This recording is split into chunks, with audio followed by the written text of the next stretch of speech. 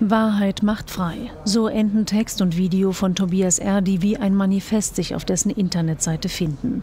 Dort schwadroniert er über sein Leben und seine Lebensansichten, die von Verschwörungstheorien bis offenbar rechtem Gesinnungsgut vieles beinhalten.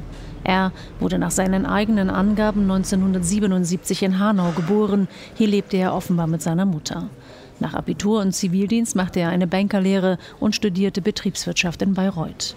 Als Bankkaufmann erlebt er auch einen Banküberfall. In seinen Texten beschreibt er die Tätersuche in den Fotodateien der Polizei so.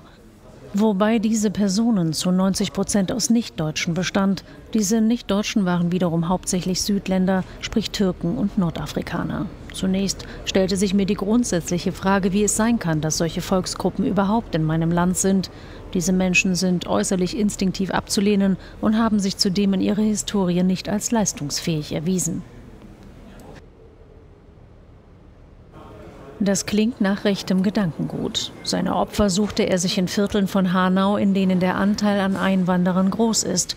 Unter dem Kapitel Hochverrat verdichten sich diese Hinweise.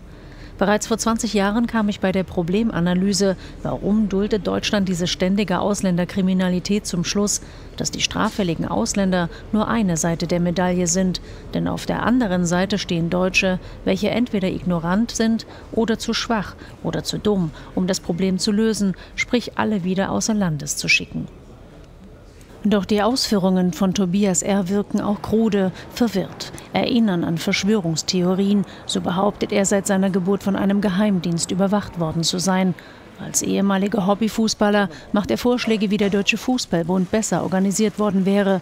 Und der frühere Zivildienstleistende lamentiert darüber, wie der Krieg in Afghanistan und im Irak mit einer besser aufgestellten Bundeswehr funktioniert hätte. Jetzt ist Tobias R. tot, mutmaßlich von sich selbst gerichtet. In seinem Auto fanden sich Waffen und Munition. Er soll einen Jagdschein besitzen. Doch bevor er sich für einen Suizid entschied, erschoss er zehn weitere Menschen.